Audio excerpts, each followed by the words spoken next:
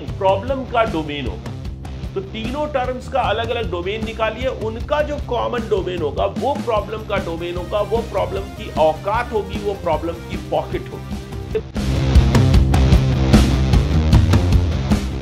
तो इसमें क्या होता है पब्लिक इस देख करके खटाक ना खुश हो जाती है, उछलने लगती है, कूदने लगती है। आहा थ्री बाई फोर से इंफिनिटी उसका मैक्सिमम है वन इसका मिनिमम है थ्री बाई फोर इसका मतलब है बीच में ये कहीं कट करेंगे।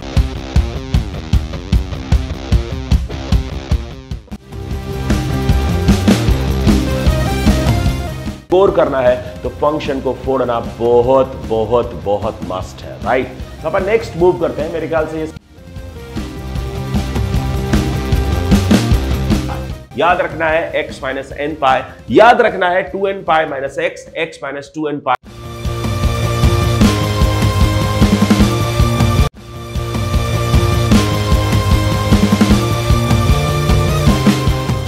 fantastic problem right अब मैं कुछ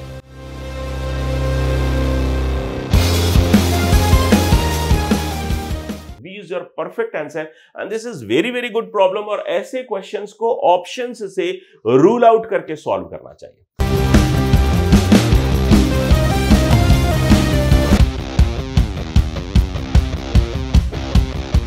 एक ही चीज़ को दूसरी बार लिखा तीसरी बार लिखा जिससे कि काम पक्का हो जाए चौथी बार ट्रिग्नोमेट्री के जनरल सॉल्यूशंस में एन हमेशा इंटीजर्स को बिलोंग करता है। It could be negative and positive as well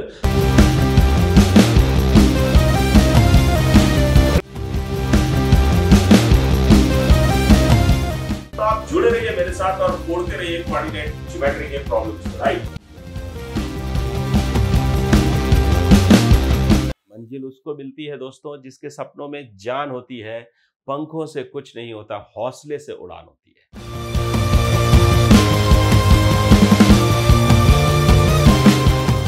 हर चीज़ को लर्न करना पड़ेगा, फिर रिटेन करना पड़ेगा। रिटेन करने के लिए प्रैक्टिस प्रैक्टिस प्रैक्टिस करना पड़ेगा। रिवीजन रिवीजन रिवीजन करना पड़ेगा, फिर परफॉर्म करना पड़ेगा।